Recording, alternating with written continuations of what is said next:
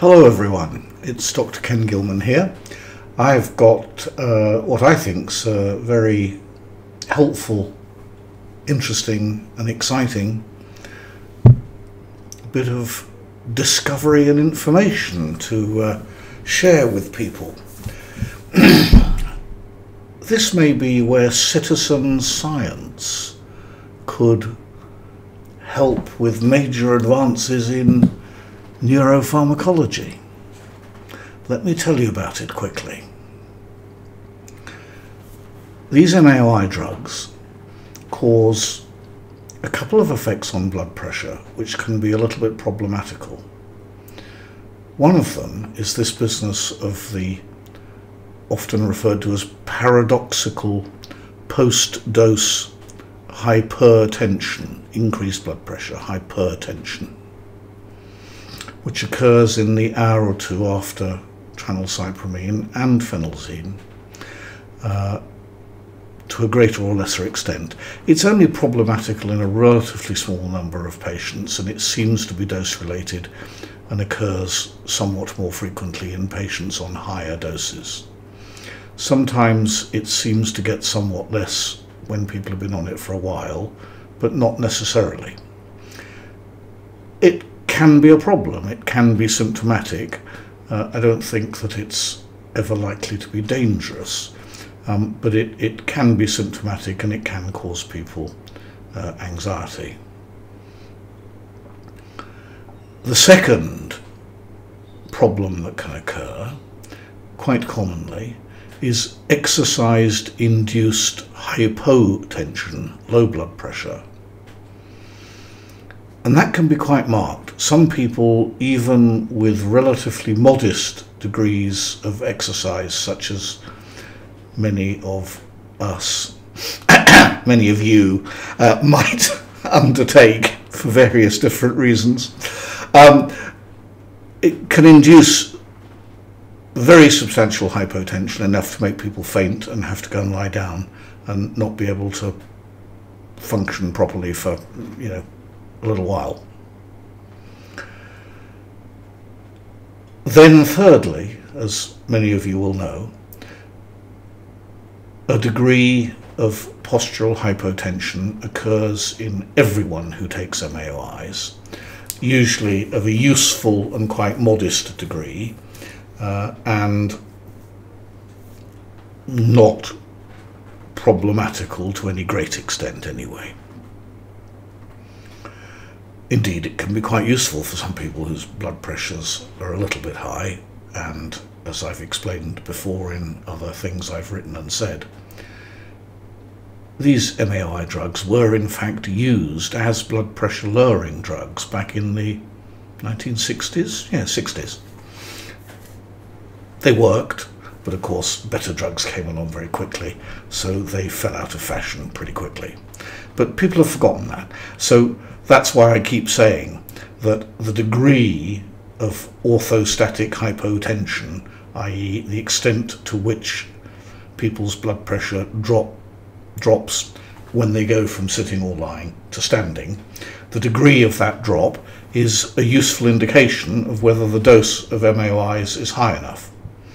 But once people have been on them for two to four weeks, the extent of that drop becomes somewhat less. But it's usually measurable all the time they're on the drug, and their blood pressure is usually somewhat lower all the time they're on the drug. But in a proportion of people, that can be sufficiently great to be seriously problematical. Uh, and occasionally, what percentage of people? Um, excuse me. Hmm.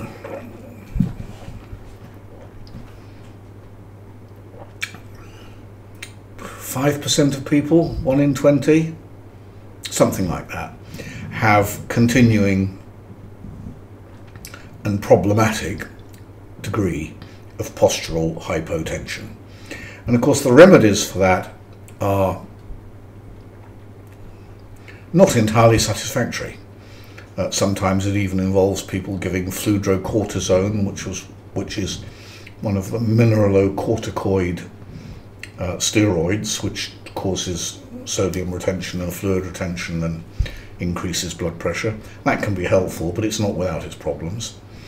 Um, uh, other drugs like the stimulant type drugs can sometimes help. Um, amphetamines even can sometimes help, but of course that's problematic because not many doctors have got the experience to combine amphetamines with MAOIs, and some people consider it's dangerous, which it can be if it's not done carefully. So there aren't any ideal solutions for this business of more severe postural hypotension with these drugs. For a useful proportion of people, simply taking extra salt and having plenty of fluids is enough, and after a week or, sorry, I mean a week, after two to four weeks, people acclimatized to it to the extent that it's not nearly such a problem. But nevertheless, it is a significant issue in quite a proportion of patients.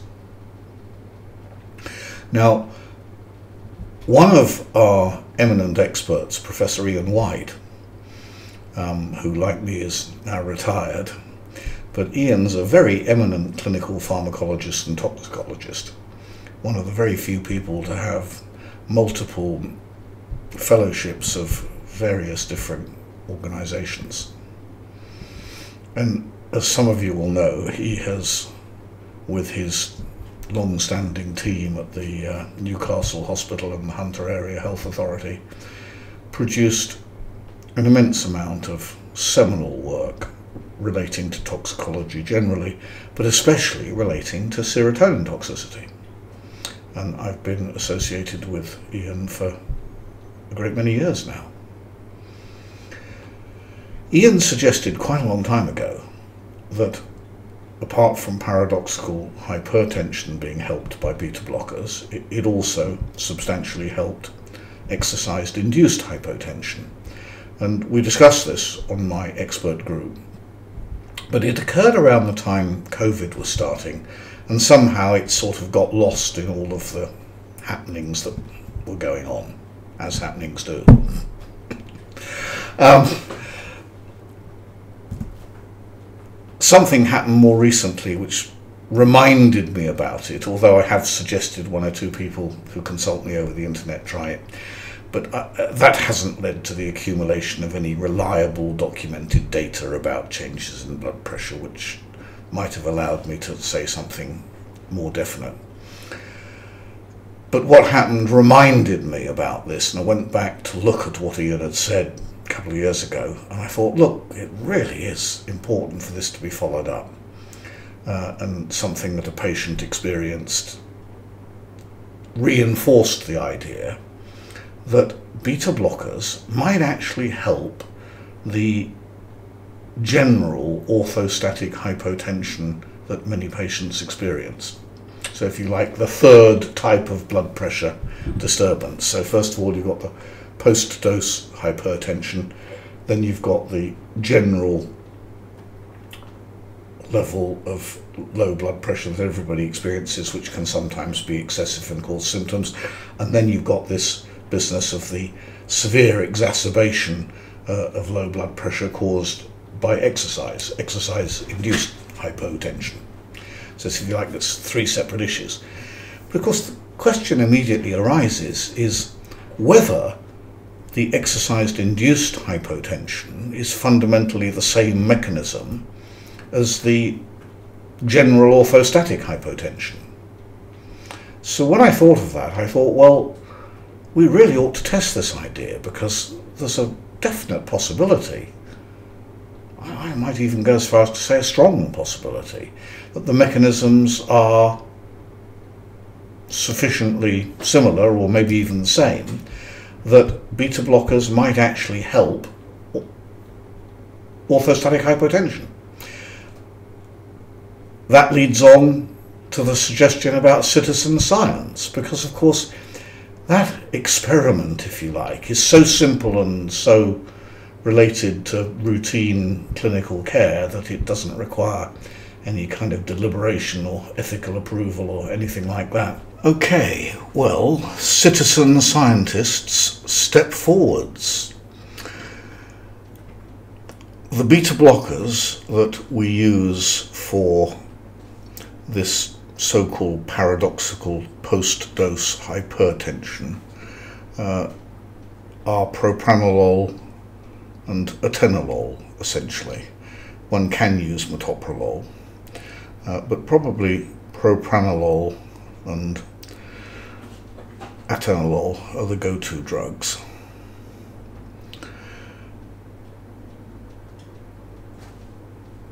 The dosage needs to be adjusted a little. Propranolol is metabolized by 2D6 in the liver, which shows a lot of genetic variation.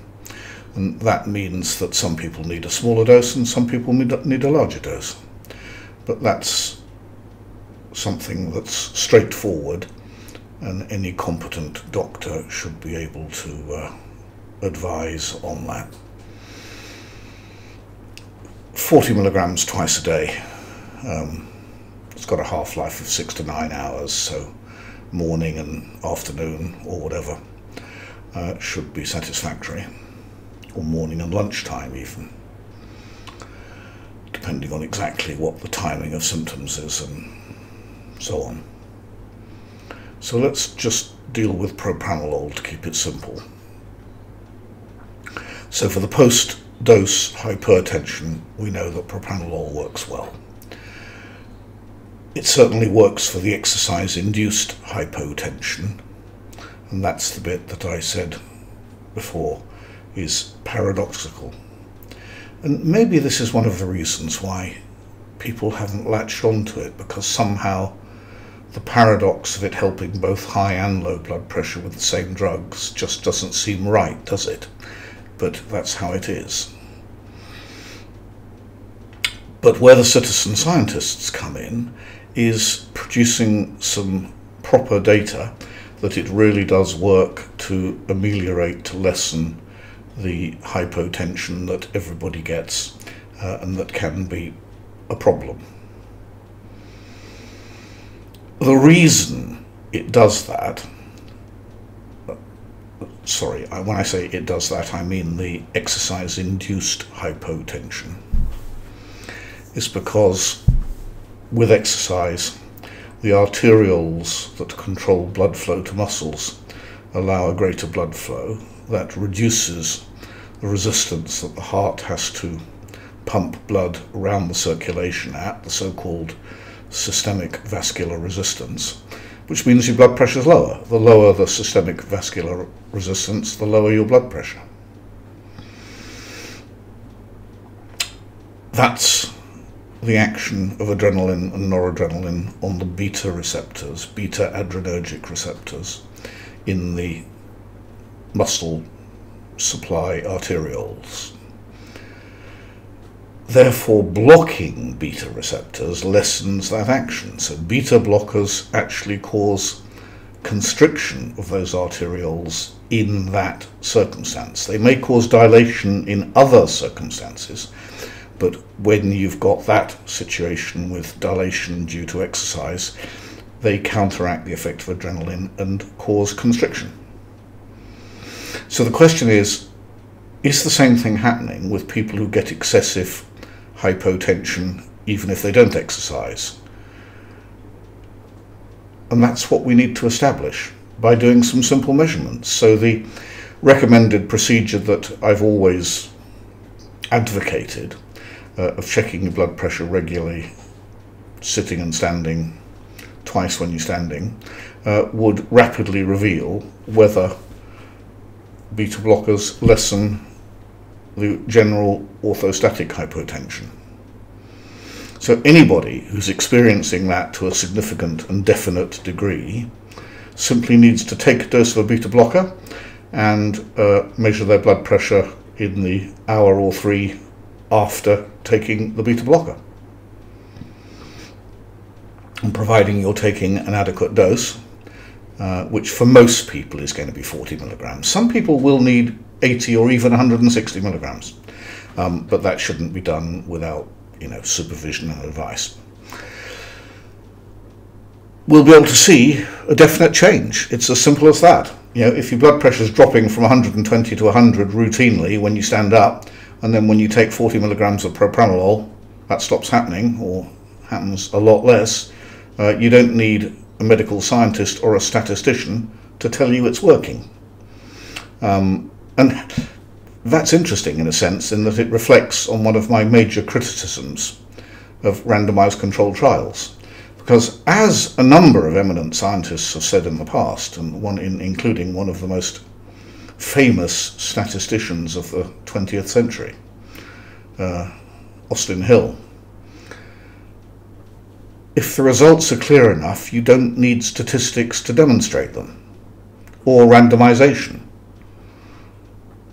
So it's something anybody can demonstrate, and it's a clear and unequivocal change as demonstrated by the blood pressure reading.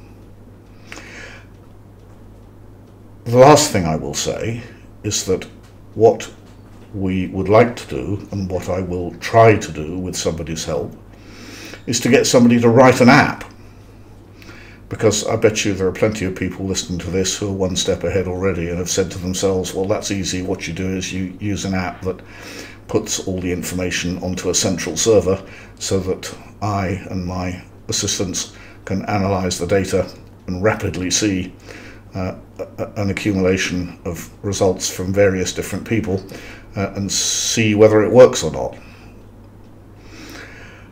We're going to try and do that. But in the meantime, it's so simple and clear that anybody who wants to can do what I've suggested and send the results to us with a few decent pre and post treatment measurements to see if there's a difference. Also, of course, anybody with significant exercise induced hypotension can do the same thing, um, but I don't think there's any argument, at least not in my mind, about whether it works in that scenario. But, but nevertheless, it would be wonderful to have some good data on that because probably to influence doctors and scientific opinion generally, uh, it would be good to be able to publish some properly done observations formally in a scientific journal. That would certainly be of considerable assistance in persuading people that this is real and not some spurious effect that they can imagine away by some spurious argument. So there you are. Please join in, become a citizen scientist, and see what you can do. Right, so that's my end of year message. And look, if we could demonstrate that beta blockers did in fact prevent the routine postural hypotension that is a significant problem with these drugs, that would be quite sensational because both beta blockers and MAOIs have been in use for 50 years, in fact more, nearly 60 years now. The guy who invented beta blockers, I think, didn't he get a Nobel Prize? Beta blockers propranolol was the first purpose designed drug to block beta receptors. It, it, it, was pharmacological history. Very interesting. So these drugs have been in use for 60 years, and yet in all that time, nobody has made this crucial observation. So if it turns out to be true, um, I think that's not only extremely useful, but sensational and interesting. So go to it, folks. See you next year. Bye for now.